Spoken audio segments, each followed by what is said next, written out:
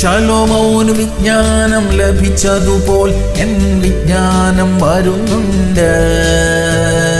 വരുന്നുണ്ട് വരുന്നുണ്ട്. എന്റെ അത്ഭുതം വരുന്നുണ്ട്.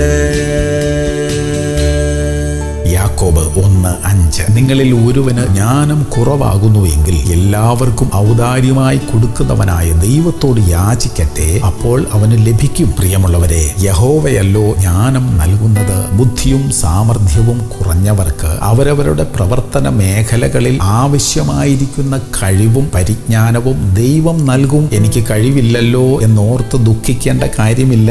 ദൈവം നമ്മെ ഒരു ചുമതല ഏൽപ്പിക്കുമ്പോൾ അത് ചെയ്യാനുള്ള കൃപയും കൂടെ തരും. മറ്റൊരാൾക്കൊരു പ്രത്യേക കഴിവുണ്ട് എന്ന് വെച്ച് നമുക്കും അതുണ്ടാകണമെന്നില്ല. നമുക്ക് ആവശ്യമില്ലാത്ത കഴിവുകളെ ആഗ്രഹിച്ച് നിരാശപ്പെടാതെ നമ്മുടെ പ്രവൃത്തികൾക്ക് ആവശ്യമുള്ള കഴിവുകൾക്കായി വിശ്വാസത്തോടെ പ്രാർത്ഥിക്കാം. ദൈവം തരും സ്വർഗീയ പിതാവേ ഞങ്ങളുടെ ജോലി സ്ഥലങ്ങളിലും പ്രവർത്തന മേഖലകളിലും പുതുതായി പലതും ഞങ്ങൾക്ക് ചെയ്യേണ്ടി വരുന്നുണ്ട്. പലതും മുൻപരിചയമില്ലാത്ത കർത്താവേ. അതൊക്കെ നന്നായി ചെയ്യാൻ ബുദ്ധിയോടും ജ്ഞാനത്തോടും നല്ല കൈയടക്കത്തോടും കൂടെ ചെയ്യുവാനുള്ള കൃപ ഞങ്ങൾക്ക് തരണമേ യേശു ക്രിസ്തുവിന്റെ നാമത്തിൽ അപേക്ഷിക്കുന്നു. കേൾക്കണമേ. നല്ല പിതാവേ. ആമേൻ ആമേൻ ആമേൻ.